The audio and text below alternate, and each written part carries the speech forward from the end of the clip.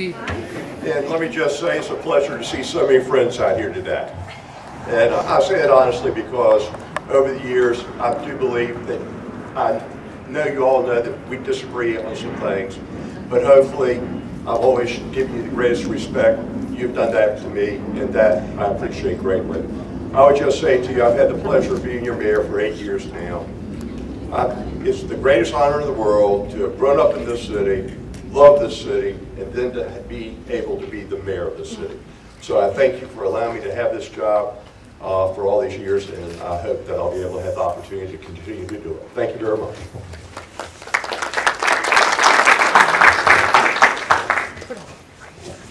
Hey, good evening. I'm Don Weeks, uh, native of Kempsville, graduate of Kempsville High School. Right, Dave? Go Chiefs. He's a much younger man than I more handsome, but anyway, that's, that's life. Hey, I was on the council back in 98. I served one term, led the opposition to the light rail. Uh, So, you know, I've got a bit of experience on council. Let me just mention quickly, I just left the volleyball court. My twin girls that attend Kempsville Middle School, my old junior high, are playing a little volleyball tonight, so uh, that's a fun thing as well. I am uh, running for mayor because I want to change the direction of the city. I think we have some much greater needs. One of those being road projects. The Indian River Road project over Elbow Road uh, needs great attention as soon as possible, and also modernizing our full Oaks High schools. And I'll talk about more that more about later. Thank you.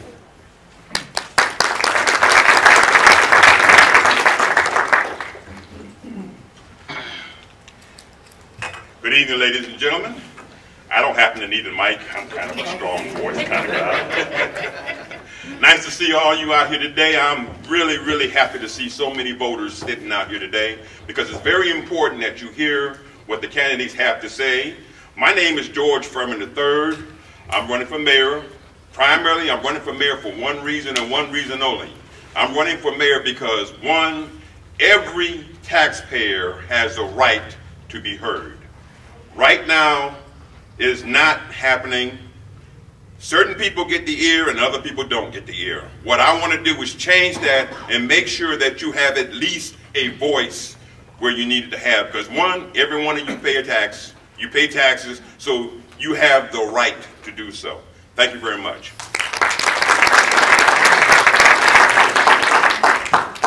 George doesn't need a mic, I don't need a mic. I'm Richard R.K. Kowalewitch, and I'm running to be your mayor of Virginia Beach. I ran against Mr. Sessoms four years ago. I started in politics 16 years ago. I started because I didn't like what I was seeing. I didn't like the corruption that was coming up. I don't like it at all. I fought against it for 16 years. I'm the only person in Virginia Beach I know of that's done something about corruption and actually not even been elected and got it done. I'm running because I'm a conservative. I believe in the free enterprise system. I believe corruption is a free enterprise killer. Government doesn't have the right to pick winners and losers, and that's what we're doing in the city of Virginia Beach. We've got to change the way we do business, become more inclusive, we have to be more transparent. I'm asking you guys to help me get in there so I can fix some of these problems, because if you hear me, it's your election. I know I'll work for you, and you can rest assured of one thing. Everybody knows, a lot of people know my passion. I'm very serious about fixing it, and I can fix it. Please vote for me on November 8th.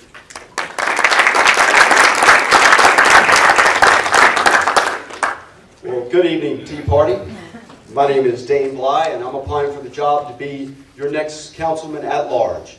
And I'm asking you to hire me with your vote so that we can reduce the influence of special interest on city council, set new priorities with smarter budgeting so I can be your voice and your vote on city council.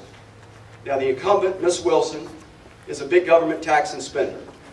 She's given our hard-earned money to special interest, and she's already voted to raise our taxes to bring light rail to Virginia Beach. We can't afford the current majority on city council. So let's help small businesses and working families keep more of their hard-earned money. Let's diversify our economy with new, good, high-paying jobs, end crony capitalism, and create a level playing field. Let's restore trust and accountability on city council. And let's use common sense and forward thinking to utilize 21st century solutions to our transportation challenges. Again, my name is Dane Blythe. I ask you to hire me with your vote on November the 8th. Thank you. Hi, everybody. Thank you so much for coming. My name is Pam Witham. I am 32 years old, and a Virginia Beach native. I graduated from Princess Anne High School and received my undergraduate degree from Virginia Wesleyan College in International Relations. As I have grown up in this city, I recall telling guests at the hotel that I worked at that this city is turning into something it's not, and that stems from the leaders that we have in our elected office. And that sentiment still holds true today. The issue of bringing a light rail here isn't one that will reduce congestion, and the studies have shown that, so why is this still being pushed? Our education system is running on the idea that if we reduce the standards that our students are given, it'll be fairer.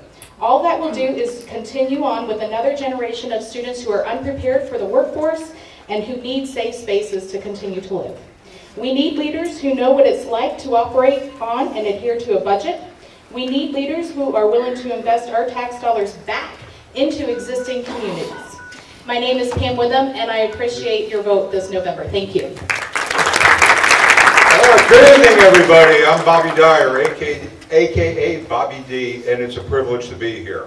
I have had the privilege of being on city council for the last 12 years, and yes, I am indeed blessed to be unopposed this year, but let me tell you how important I think it is to be here, to continue to build those positive bridges with the community and the groups that you are the fabric, you are the glue that holds this community together. And I am going to be looking forward to continuing to work with you to build those positive bridges, to increase the amount of business that we have, to make us more fiscally sound and stable. But once again, I really want to sincerely thank you for taking your time to come out and hear us. Thank you.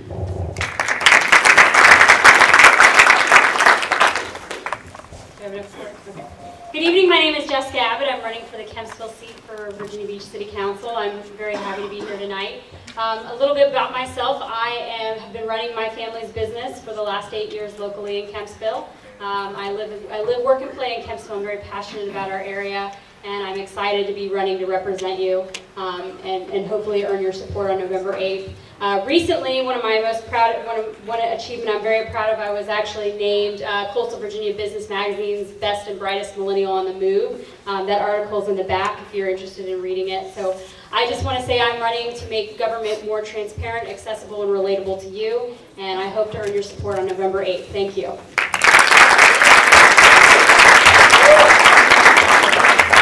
Good evening. My name's Robert Dean, and as you can tell, I am not a millennial. I'm running for the Rose Hall seat, which everybody citywide can vote for. Most of you know me by my past deeds, my past, I would call accomplishments. I would urge you to take my brochures that you have and especially pay attention to this goldenrod. This is a comparative chart on what my opponent, Shannon Kane, and I have in, in opposite the view of government.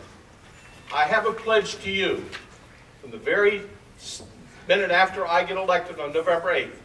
I pledge I will be of the people, by the people, and for the people, and the Rose Hall seat will not be for sale by any banker or developer. Thank you.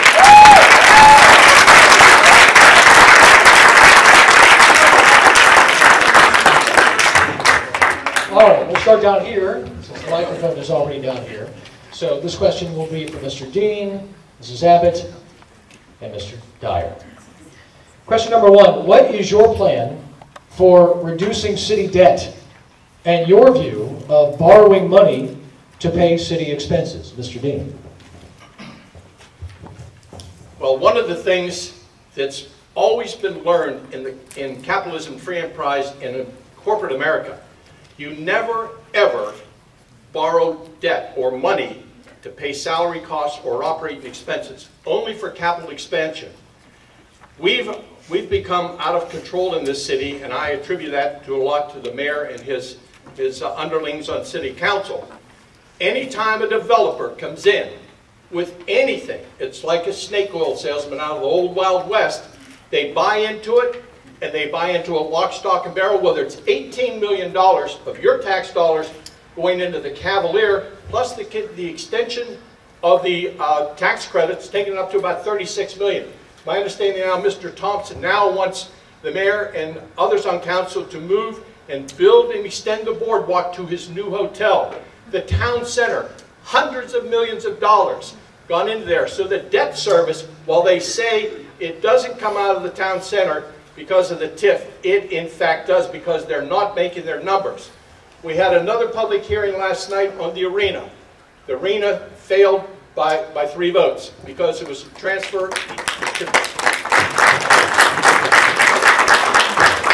The, the numbers changed and what the public never got to see and will change on November 8th once myself, Dane, and uh, Jessica get elected.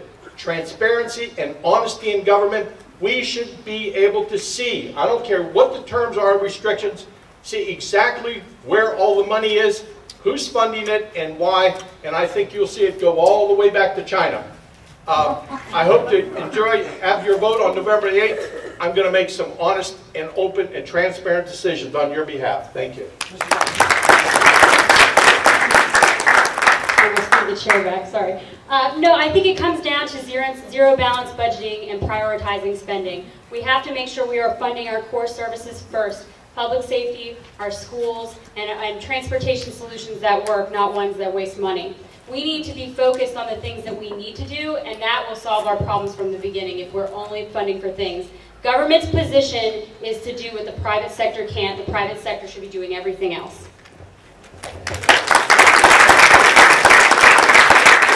I think we have to take advantage of the low-hanging fruit that we have out there. We got to stimulate small business and we got to increase it.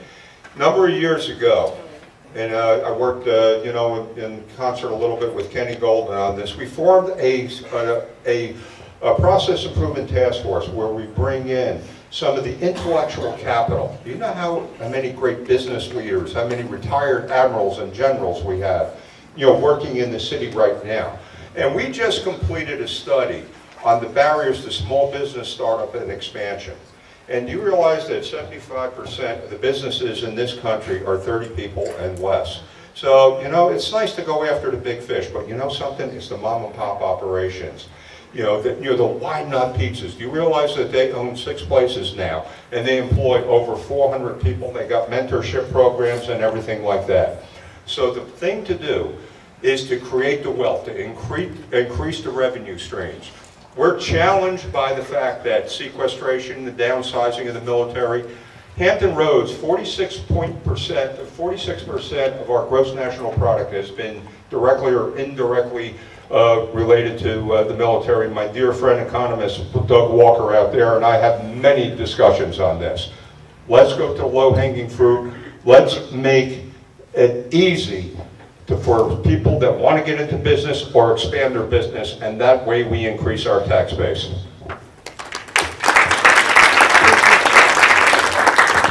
Our next question will be for Ms. Whitman, Mr. Blythe, and also Mr. Kowalewitch. Should body cams be on every officer, and should that footage be available to FOIA? And I'll throw in an addendum to that if it is going to be available to FOIA, should there be any restrictions or time, time restrictions on when that footage would then be made available to the public, something that we have seen played out over the past few weeks? That's, that's a really deep question there. That's amazing. Um, my father was a police officer for the city of Norfolk, so this is a, a question that is sensitive for me because I trust our police officers. Are there some bad people out there? Absolutely, there are. But you will have bad people anywhere. Do I think that every police officer needs to be equipped with a body cam? I think that that's something that we need to ask our police department about. If they feel comfortable having body cams on their police officers for their protection, then that's something that they should tell us that they want. Um, video footage being released right after incidents that happen I, for one, feel that while transparency is something that is crucial, releasing images of a police officer shooting a citizen, no matter what the circumstances are, is just going to cause an uproar, is going to cause more of a rift. I think that that should be something that we wait upon until all of the facts are known in a case before we release any kind of video footage to the public, so the public knows every piece of evidence beforehand.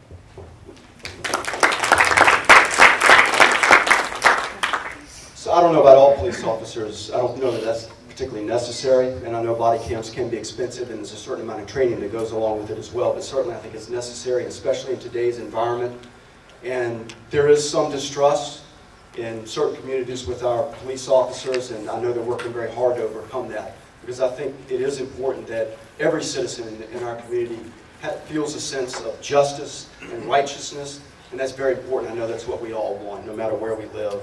Um, so the idea of the FOIAs and releasing them, I do think we have to be smart about it, but yes, the, whatever the, the video cameras show, that, that needs to be, that needs to be shown to the public as well. Maybe in due time, maybe not immediately, because a lot of times there's a lot of misinformation that goes out, so it just has to be used judiciously. But the fact of the matter is, if we're gonna, gonna have the body cams, let's put them to work, make sure we can, we can use them appropriately as well. But our, our police officers, I know are, are under a tremendous amount of stress these days, so we need to do all that we can to help and support them. And um, they, they have a lot of things going on as well. You've got uh, compression, there's pay that, that needs to be worked on. In fact, I would say that I would give that one of the highest priorities, um, is, is increasing the pay of our police officers uh, to really, truly help them so that they realize the value and how important they are to all of us. And then you have to prioritize spending in government too. And there, there is money. I know that Councilman Moss has always said that we don't have a, a revenue problem, we have a spending problem. So if you prioritize that spending, public safety being number one, the public education system number two, and then public infrastructure, not including light rail, would be the third.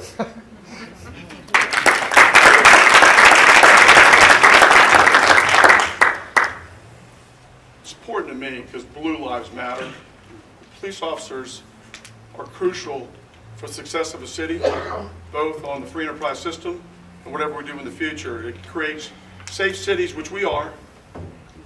We require to have good police officers and good trained police officers. I do believe that cameras should be on the police officers.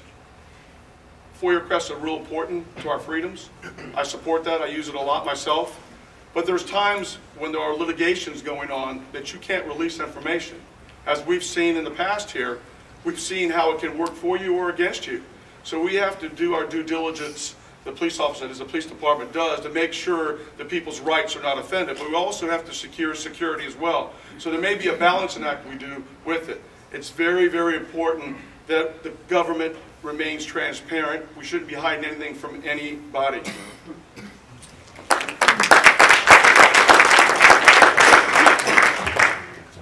Since that topic of body cameras and police interactions has been such an emotional topic over the past couple of years, I want to continue with that topic uh, with our other three candidates here. So Mr. Furman, Mr. Weeks, and also Mr. Sessoms will expand on that topic a little bit. You can also answer this question that everybody else did, or the previous three. Should body cams be on every officer? Should the footage be available to FOIA? And then as an addendum to that, is there anything as mayor that you would like to see or like to pursue that the police department can do better in the city of Virginia Beach? Where is that room uh, for improvement? And as mayor, how would you be able to facilitate that?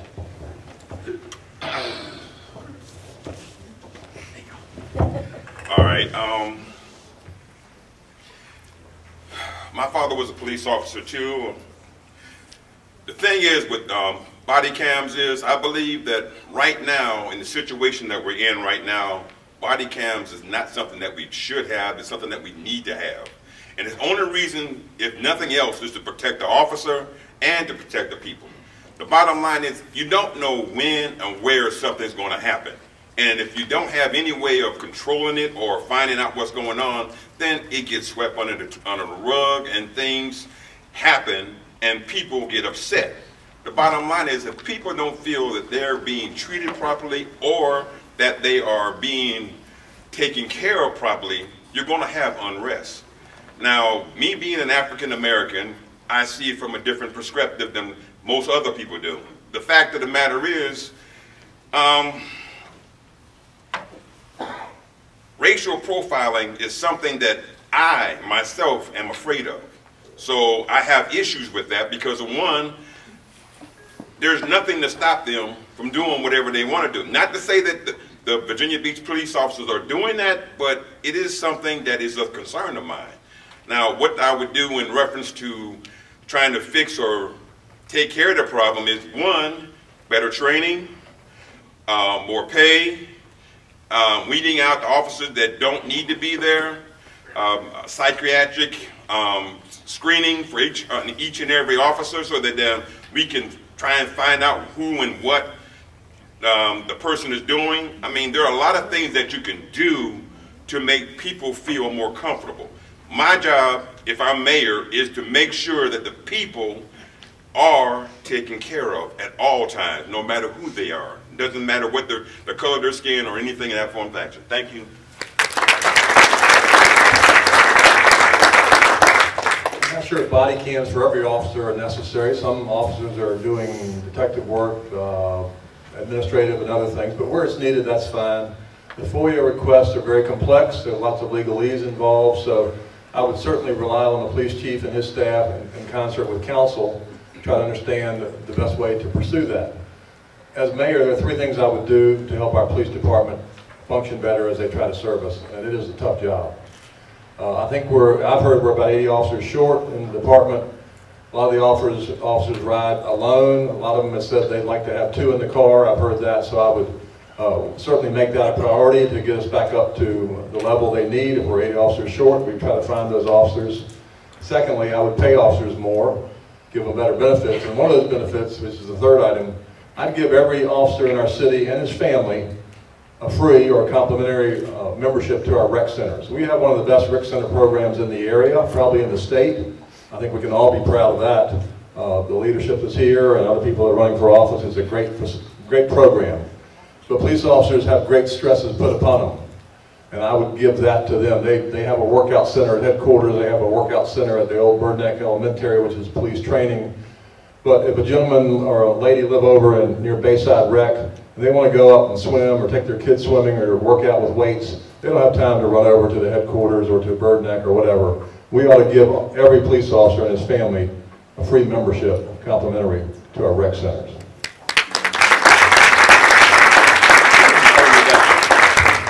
The uh, police department has asked for these cameras, and the city council has started to fund them. I believe that the police department will put them in service uh, over a three-year period, starting, I believe, this summer. Don't hold me to that date, but they have been ordered. As far as information being released, I would ask that the police department and the Commonwealth's attorney and the city attorney come up with a policy, which they're in the process of doing, which everyone will know that policy once it's uh, come up with, and we will abide by that policy. what we can do to, for our police department, and we started that in this upcoming budget, we need to hire additional police officers, not to mention the ones that are already available. You know, we got 80 vacancies right now. And the truth of the matter is, you know, a lot of people do not want to go to law enforcement right now. So we're making every effort to do that. But we also want to expand the number of police officers and mainly for community policing. We started community policing 25 years ago in Virginia Beach. I truly believe it's made a difference in our city in the way that our police officers can go into a community, be respected, communicate with, and trusted. That is, you can't put a price on that. Then finally, also more training. We have about one third of our police officers that are trained for crisis intervention. And that means they deal with the mentally ill. And unfortunately, folks, 25% of the people in the jail right now are mentally ill. A lot of the people that our police department runs into on a daily base, basis are mentally ill. You bring in the crisis intervention trained officer, he can diffuse something, someone who's mentally ill in 30 minutes and not a, a major confrontation. Thank you for your responses. Can everybody hear okay in the back? Yes. Okay. Our next question? Yes, sir. Can I just respond to that, something on that last question, because I didn't get the full question. It's short, to the point. Sure. Okay. I don't need the mic. I- I just want y'all to know, we've been 80 police officers short since the year 2000. So what's going on? Six, for 16 years, we're 80 police officers short. Wh- wh- What's happening? That's the kind of leadership that we need to change. because especially in today's times, we can't, we can't wait to respond. Would anybody like to respond to that? Very much so. Uh, 30 seconds.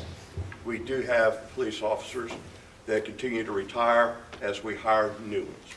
And also, I will sit back and say to you, we do set the bar very high for our police department.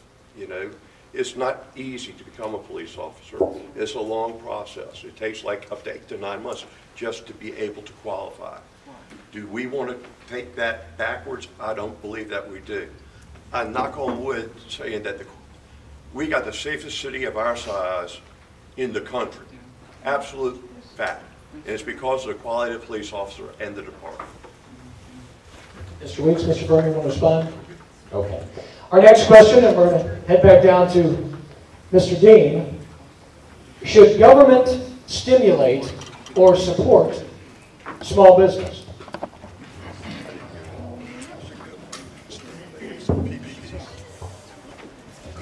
Ladies and gentlemen, this nation, this greatest nation on, in the history of mankind probably, was built out of the competitive spirit when we developed this great constitutional republic of ours.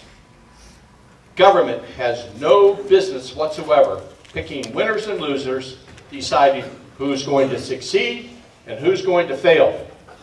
Whether, whether you're getting your loans from your local town bank or anywhere else, government has no business involving themselves in the private sector. If you want small businesses to flourish, and that's what this country is all about, tell government to get out of the way. Cut taxes, cut the BPOL tax. Most of you know the business professional occupation license tax that's still being levied on businesses, all businesses, lawyers, everybody today, was originally levied to pay for the War of 1812. I think that war has been paid for by now.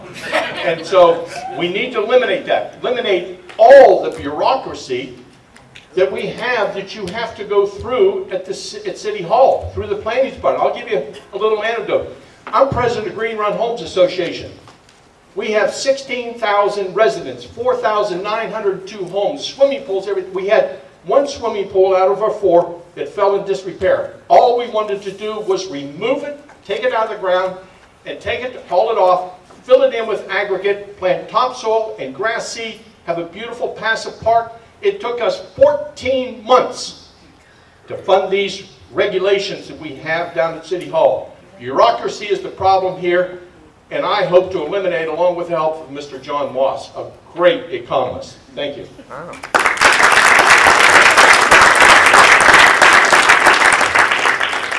I'd like to echo what Robert said. The only thing government should be doing to stimulate small business is stepping out of the way. But one of the things that I've worked very hard on the last few years is I started a women's organization to teach young women how to start and open their businesses and then be a support system for you once, once that business has started to take off. It's difficult, it's hard. As somebody who's been running a locally owned family business, there's a lot of things that goes in, it goes into it, and there are things that you don't learn how to do un, until you're in there doing it. So I think we need more leaders on council that are that have been there and know what it's like and are already doing the things that that that that the private sector needs to help stimulate um, small, small business, and that's stepping out of the way and letting real citizens get in there and do it for each other and do it for themselves. Um, the, the one improvement I think we could, we could do in our school system is tell kids that being an entrepreneur is an option. We have a problem, and that is that we tell kids that they have to go to college. That is their only option, and that is an, that is a rhetoric that has hurt my generation. And if we don't start telling these kids that you can be your own boss, we won't have any bosses in a, a long time. Well, based on my uh, opening statement, this is a bit of a softball for me because for the last four years, we have the Process Improvement Task Force that has been up and running. And we are, re we realize that we want to change a lot of the barriers that we have that people getting into business and starting a business. The fact is, a lot of people know how to run a business, but starting a business is a whole different ballgame with rules, the regulations, the, uh, the accountants, the lawyers, and everybody that you have to have. But one of the things we have to do is improve the process about people getting into business. And right now, we've got about seven major organizations that are working on trying to help the Chamber of Commerce and Opportunity Inc., our own economic development.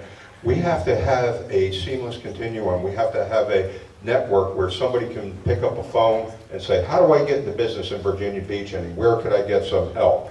And the other thing is too, one of the other projects our project improvement did, and I see Keith Freeman in there who's a contractor, uh, you know, I tell you, we are working on improving the planning and permits, you know, department in our city. We have to streamline things a lot better because the quicker we can get businesses open and to get them inspected in a, in a positive way, the quicker that people are hired and people, people start making money and we start getting some tax money. And so I think that's critical about what we have to do. And, you know, the idea is that we are now in the process of trying to do what we call a little bit, we call it in the Marine Corps an attitude adjustment, where we want the city employees to be advocates, not adversaries. When somebody comes and say, what do we got, when do you want to get your business open and what can we do to help you get there? Thank you.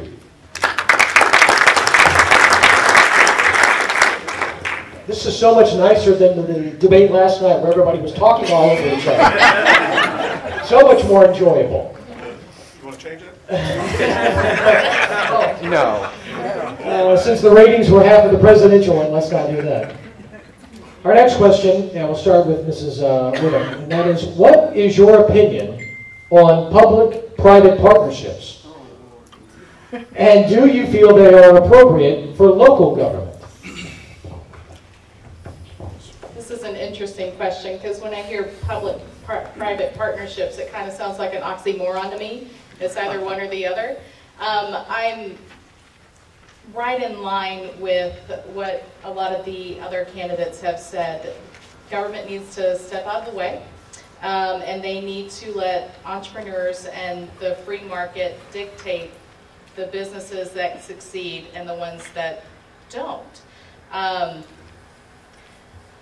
I, for me, like I said, it's, it's just an oxymoron. I don't like the fact that city government can pick the winners and the losers when it comes to businesses that are starting up in the city.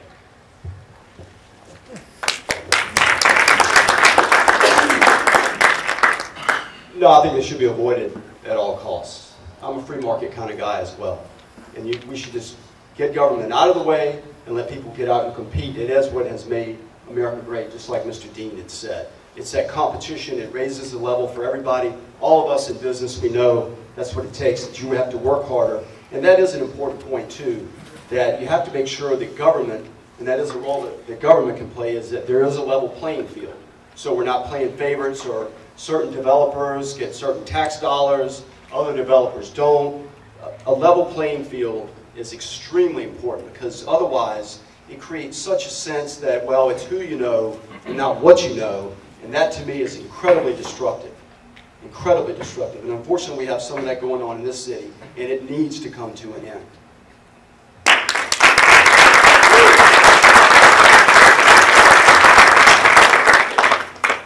Now you know why I got involved in politics. It's because of public-private partnerships. Government shouldn't be picking winners and losers. A lot of people in this room have heard me say it for a lot of years.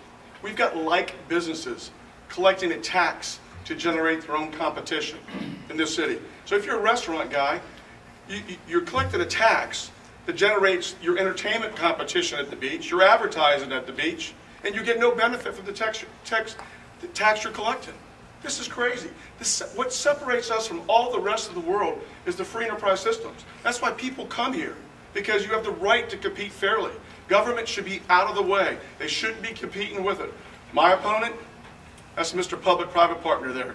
That's why he has $600,000 in the bank now. It's twice as much as all the other candidates in all the races together because his buddies can give him big money to get millions of dollars of perks from the city. And he's done it time and time again. The Cavalier deal, 31st Street deal twice. Where does it end? Light rail light rail, all the way through, we're playing a silly game. Why are we spending three or four hundred million dollars on light rail? Because a billion dollars worth of land projects, so his buddies at the bank can benefit. That's what's going on here. convicted from public corruption. He's running again. He got on TV and said, hey, it's going to happen again. I didn't do anything wrong, but it's going to happen again on Channel 10 and Channel 13. This is crazy.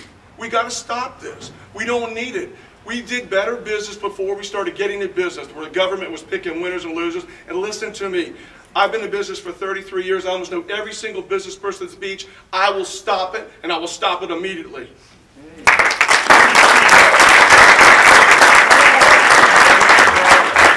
And Mayor Sessoms, since you were personally addressing that, you can respond to that in your next question. Thank you. Who remembers Pembroke Mall 15 or 20 years ago? How did it look? Sad. Very sad. We started Town Center 15 or 20 years ago. And yes, we took money from local tax money and we financed roads and parking garages. The infrastructure around the buildings, the buildings were built by the private sector. The revenue from the real estate tax pays the debt on the money that we funded around Town Center being the roads and the parking garages. The additional taxes from the restaurants, the hotel, is $7 million a year. That's after everything's paid from the real estate tax paying the investment the city made. Then, think about what Pembroke Mall just did on its 50th year anniversary just a few months ago. Have you been by there? Mm-hmm. It's revived, isn't it? And we didn't put any money, we did not put one penny in Pembroke Mall, but because of what occurred around it, it allowed for Pembroke Mall to flourish. Let me say to you, across the country, malls are failing. We have two malls in Virginia Beach, Lynnhaven and Pembroke, and they're both flourishing. Right, For the equality of time, I'll limit this next question to Mr. Furman and Mr. Weeks. And that question is, and we've seen a lot of this in the newspaper recently, when you look at the economic revival in this area compared to other parts of the state, compared to other cities that are like, uh, of similar size to Hampton Roads, that we have been behind in that economic recovery. And the reasons are plentiful. So now they're trying to, making, making sure we have this push of integrating the seven cities around it. With that in mind, question is, what business besides tourism, the port, and federal employment do you plan to bring to our city and how? Mr. Weeks, we'll start with you. We've got to do a better job in economic development. First of all, we need to retain the companies that are already here. Movement Mortgage is a prime example. They were headquartered over in uh, Oceana uh, Industrial Park. They were expanding uh, greatly. They're a tremendous success story. And I've talked to a developer who wanted to keep them here, and he needed to build a parking garage, uh, needed a variance. He didn't get much help from the Economic Development Department for more here. So first of all, we've got to retain the companies that are here that are doing well. Certainly high tech. We've gotten a start in biomedical out near uh, Princess Anne, and that's a good start. I agree with that. Uh, we've just got to be better in economic development, plain and simple. I'd like to go back and address, if I could, government being involved in small business or stimulating the question. I think government can play a role, uh, and I'll be very precise about it, in helping minorities and women-owned businesses, those people that have been disadvantaged over the years. I'm, I'm you know, I've been blessed. I'm, I've got a fairly successful business. I've been working hard at it for years, small business. But uh, minorities and women uh, have been kind of shortchanged. And I think government can play a role, again, very specifically. Uh, government can borrow money and lend it out at lower interest rates. There are a couple things that can be done. So I, uh, I want to just hold that up to you as an idea as well. Can I, because you mentioned something? Mr. Furman and then Mr. Okay, right.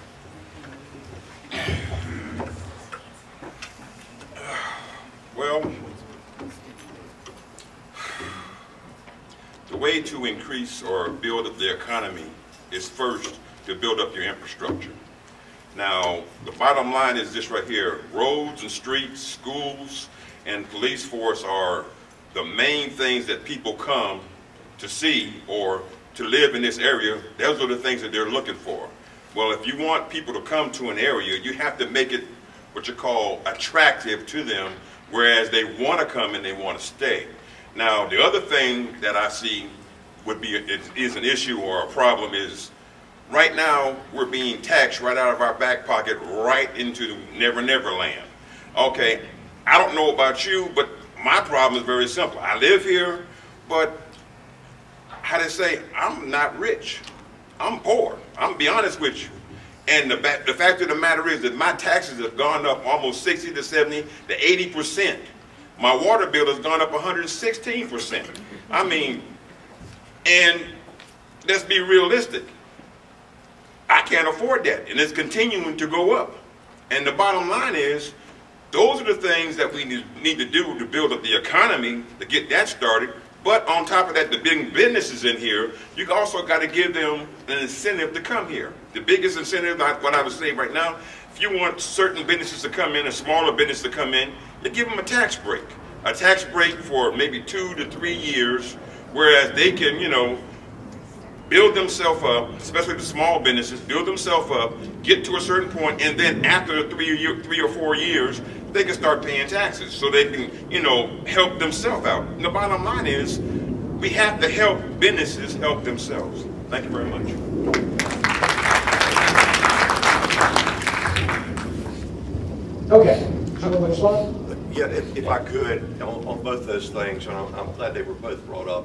And I'm glad Don mentioned like Movement Mortgage. The last thing I wanted to do is see Movement Mortgage leave Virginia Beach as a first-class company. Bottom line is they left because there was so much money thrown at them from a different state and another city in, in, in Hampton Roads. That, that's the reason they left. We tried to get in the game, but we have to make a solid business decision. And, you know, you can't throw money and then not have a return on it. And that's where the point got. We didn't do it. Others did. On the real estate tax that, you know, Mr. Foreman- Foreman just mentioned, he must have a heck of a nice house.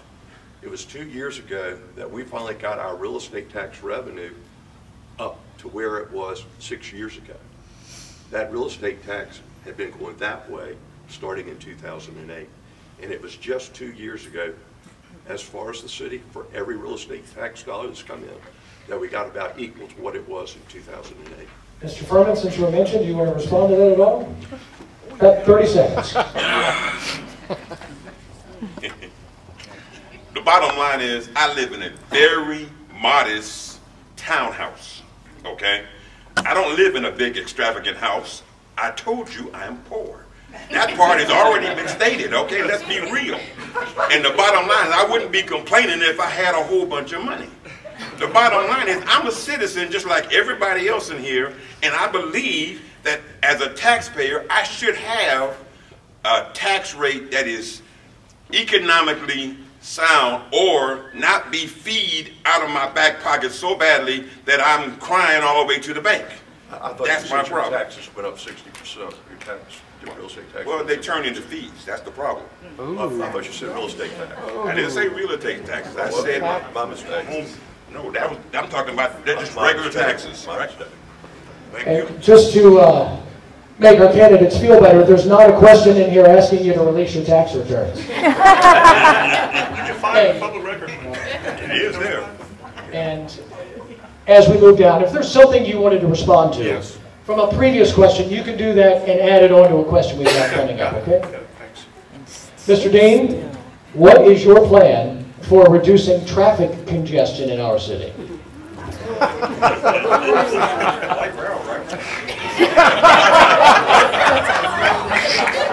Uh, yes.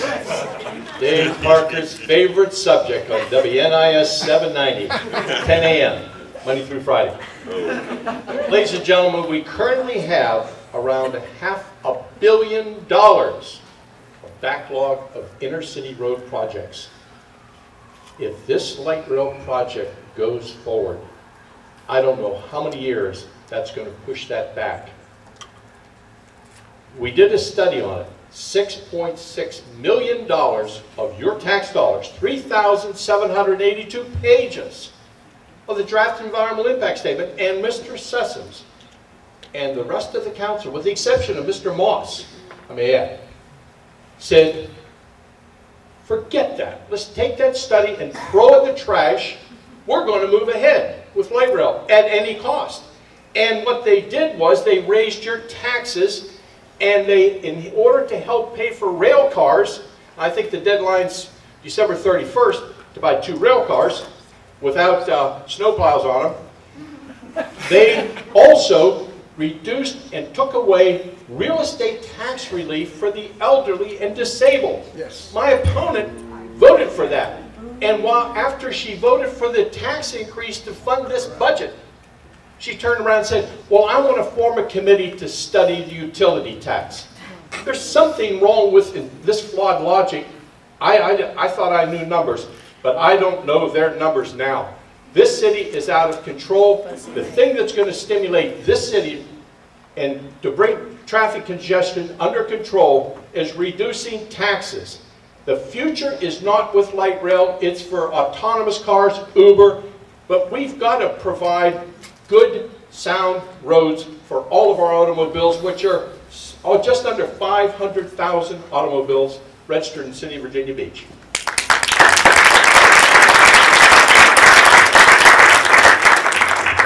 It's a little difficult to follow Robert. He likes to take up all the good facts. Um, no, I, I, I, don't think light rail is a good solution to our traffic congestion problem. Um, and in fairness to that, our growth has been pretty stagnant um, over the last decade or so. So when I hear these projections that we're going to have this booming growth and this outrageous uh, congestion issues, it's a, it's a little uh, mind-boggling since we're not, we're just kind of hanging out in, in, terms of growth. But what I'd like to see is our bus stops be actual bus stops, not sticks in the ground with a sign on them. I talk to a lot of people who use the bus system. They run uh, on irregular time, uh, almost half the time.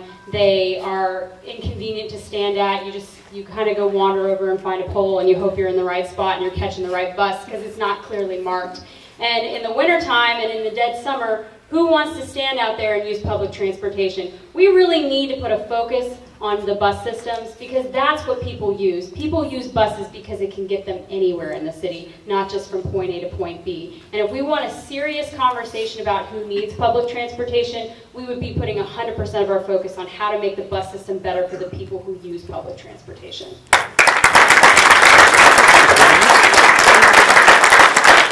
Now, you all know I live way on the other side of town in scenic Centerville out there. Now, one thing I am blessed, I am the landfill baron. We got the landfill out there, and we also got population density. We got the highest traffic count in the city is right in front of Founders Inn, 104,000 cars a day.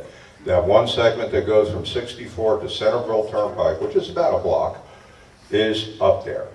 And what we've been able to do uh, over the years, the council, we've been able to dedicate around $92 million of road projects going in. If you remember Lynnhaven Parkway, that's been a dotted line on the map since 1978, is going through. It's going to be opening in December. And I'll tell you, it's going to increase emergency response time significantly to the people in the Alexandria, Brigadoon, and Charlestown part of the city. We're also going to be widening Centerville Turnpike uh, from where CBN is all the way to the uh, Chesapeake border. I call that the mini Southeastern Expressway. And uh, the other thing is we got the worst intersection in the city at Indian River and um, Kempsville Road. We're going to reconfigure that to try to make it a little bit more patent. It's important that we have patent roads for emergency response purposes. How much time do I have? 40 seconds. 40 seconds. I just want to say one of the challenges we have with these type of projects that have, and you know, forgive me, I know Dr. Walker from my days as a professor of government. I'm down to 30 seconds. The important part that we got to realize that cities are going to become epicenters of government. We're getting less money from the feds with that obscene uh, national debt. We're not getting the money from uh, Richmond like we used to. The point is we got to start thinking about creating our own wealth, be more effective, more efficient. Thank you. And a reminder to our candidates, you have two minutes to respond. If you want to spend part of that time on the question I'm about to ask you, come back to a previous question. That's fair game. Next question. Will you give city workers a pay raise? What percentage would that be? And of course, I would add, how would you pay for that? Get all the good ones. Wow, so I think that when you talk about raises for city employees, you, there's, there's so many different factors that go into it that you, that it's not a one-size-fit-all kind of deal. Um, so you really have to research it and see, for me, I think the priority would be who has not had an increase first, um, and go from there.